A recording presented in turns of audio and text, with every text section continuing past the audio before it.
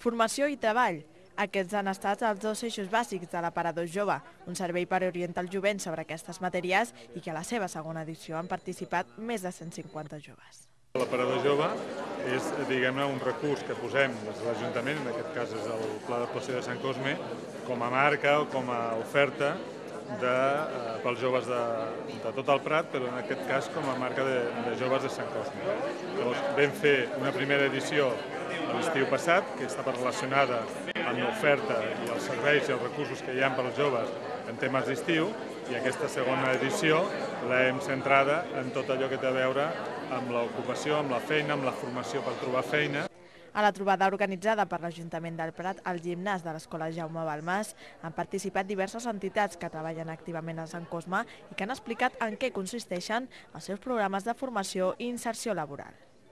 Es un programa de inserción laboral que tenemos dentro de la asociación, que ayudamos a las personas a crear currículum, a informarle de los sitios donde puede buscar el trabajo o mm, lugares como todos los que existen aquí en el Prat para búsqueda de trabajo. Nosaltres oferim eh, d'una banda assessorament, llavors a partir de, de l'acollida que els hi fem a les persones que passen pel nostre estant, els derivem en funció de les seves necessitats o del que vulguin, doncs, eh, o bé cap a, els oferim informació sobre formació en el lleure, que és un dels àmbits, o bé l'altra proposta que els hi fem és passar el baròmetre de l'empleabilitat, que és un baròmetre sobre tecnologies de la informació i la comunicació per a l'empleabilitat que hem creat des de Fundació Esplai. Els joves que han participat no s'han mostrat molt optimistes davant la situació econòmica actual, tot i que no perden l'esperança en trobar feina.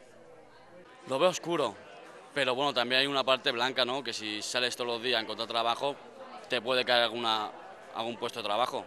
Cuesta más que antes, antes teníamos, ibas a donde tú fueras, que encontrabas, ahora vas a un sitio, vas a otro, vas a otro, y lo tienes muy mal porque encima te piden muchos estudios. En aquesta línia, el Departament d'Educació, amb el suport del Lloro, organitza pel proper 3 de febrer la tretzena jornada d'orientació acadèmica i professional adreçada a estudiants de segon de batxillerat i cicles formatius. Els professors universitaris i de cicles explicaran en detall en què consisteix cada pla d'estudis. Per a més informació, adreceu-vos a la plana web www.joves.prat.cat.